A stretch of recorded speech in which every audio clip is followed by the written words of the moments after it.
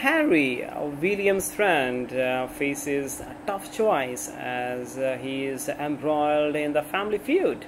In the aftermath of their increasing schism, Prince Harry and Prince William allegedly placed the Duke of uh, Westminster in an awkward situation.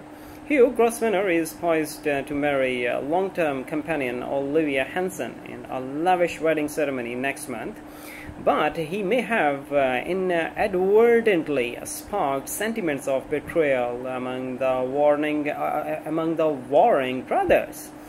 According to sources, the Duke of Sussex is dissatisfied with William's selection as an usher at the wedding, uh, although he is unlikely to attend despite the invitation.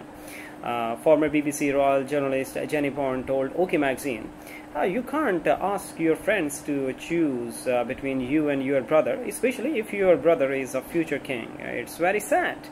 It's uh, exceedingly difficult uh, for someone like the Duke of Westminster, who has long been friends with both William and Harry. However, like and however, like with divorces, decisions must be taken and they, they are always tough, uh, she noted. Uh, the royal expert went on to say uh, the wedding will be another uh, graphic reminder that Harry's life has moved on, and uh, we shouldn't expect to see him at any royal family or friend gatherings.